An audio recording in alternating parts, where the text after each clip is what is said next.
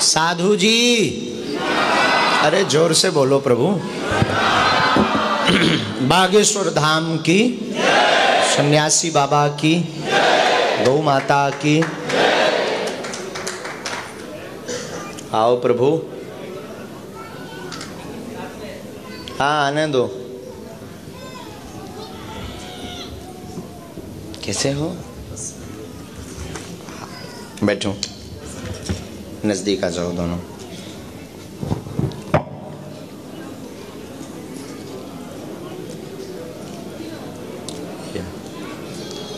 Mic लो।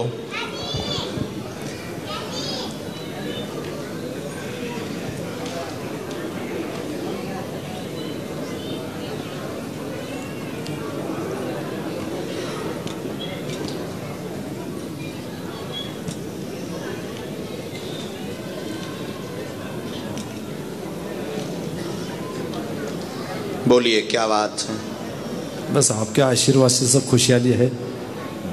उमरेड में हम आपके सब सेवा में वहाँ पे आए थे।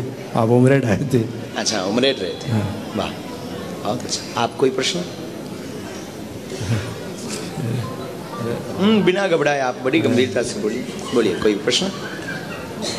दर्शन हो गया। ठीक। अच्छा हमने भी इतना ही लिखा। दर्द ठीक शरीर का रहेगा वह दर्शन हमेशा होते रहेंगे चिंता ना करें आशीर्वाद। खुश रहो। बागेश्वर धाम सरकार की।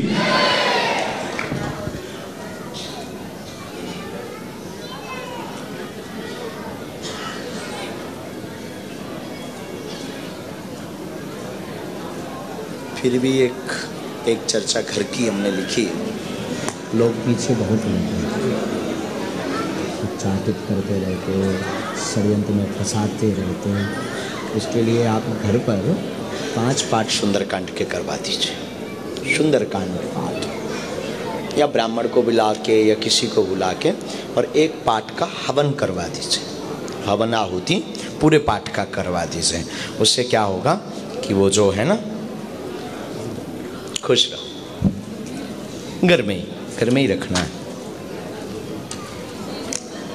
शनिवार या मंगलवार ज़्यादा उचित दो में से कोई। अभी रुक जाओ इसके बाद में तो करेंगे।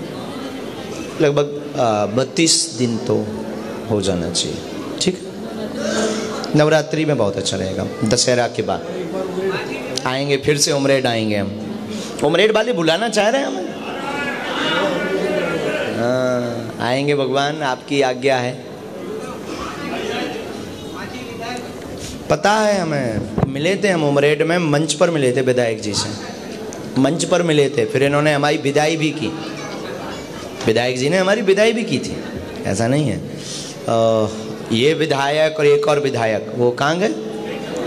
हाँ दोनों। ये दोनों विधायक हमारे बड़े अच्छे ये है ना उनका परिवार। हाँ हाँ। ये दोनों विधायक महाराष्ट्र के हमारे बड़े प्यारे हैं। जय हो आपकी। वो वाला। कर ही देना वो वाला आप जाके।